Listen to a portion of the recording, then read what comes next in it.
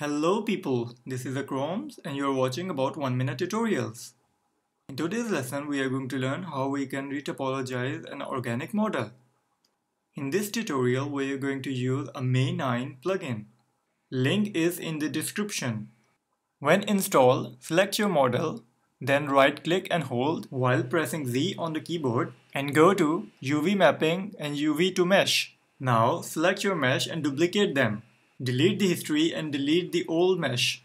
Now select your plane and rotate them 90 degrees. Create 4 new planes and also rotate them 90 degrees. Separate the UV mesh and delete the history. Select each piece and align them with the planes and increase the resolution of the planes as needed. Select all your planes and combine them. Now select all your UV's plane and also combine them. Delete the history as well. Now select the UV's plane and extrude them. Select your planes, then your geometry, and then go to Mesh, Boolean, Union Options. Select Edge and Apply. Delete the extra faces.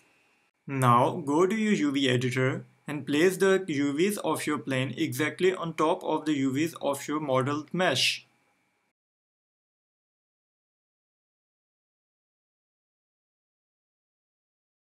Now select your mesh, then your plane and go to Mesh, Transfer Attributes option. Use the following options and click Apply. We will do a cleanup work of the upper part in the next lesson. Thanks for watching.